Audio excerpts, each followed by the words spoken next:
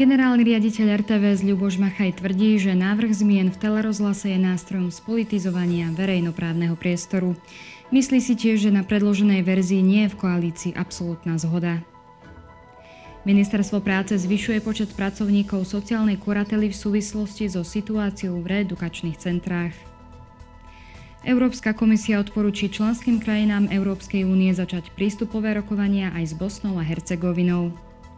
Aj tieto novinky priniesol včerajšok. Je streda 13. marca. Vitajte pri prehľade očakávaných udalostí, ktoré budú mapovať redakcie TASR.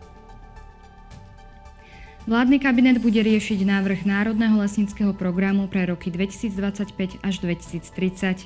Ministri majú tiež odobriť návrh, podľa ktorého by Rada vlády pre politiku súdržnosti mala rozšíriť pôsobenie aj na regionálny rozvoj. Maturantov čaká druhý deň písomných maturít. Čaká ich test a slohová práca z povinného cudzieho jazyka na úrovni B1 alebo B2. Najčastejšie si maturanti vyberali anglický jazyk. Slovenský hydrometeorologický ústav organizuje seminár o monitoringu vplyvu sucha na Slovensku. Viac priblíži na briefingu v Žemberovciach. Podujatie organizuje spolu s tamojším poľnohospodárskym družstvom.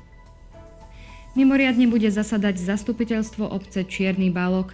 Riešiť má stav tamojších lesov, ktoré sú podľa lesníkov v kritickom stave pre podkôrnikovú kalamitu. Minister pôdohospodárstva Richard Takáč avizuje zvýšenie kapacít na ťažbu v tomto regióne. Štrasburgu pokračuje plenárne zasadnutie Európskeho parlamentu. Poslanci budú okrem iného hlasovať o Európskom akte o slobode médií a akte o umelej inteligencii. Svet si pripomína 11. výročie zvolenia Jorgeho Mária Bergolia za pápeža Františka.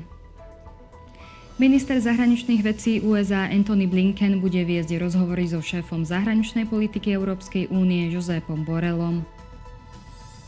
Večer sú na programe odvety 8 finále futbalovej ligy majstrov.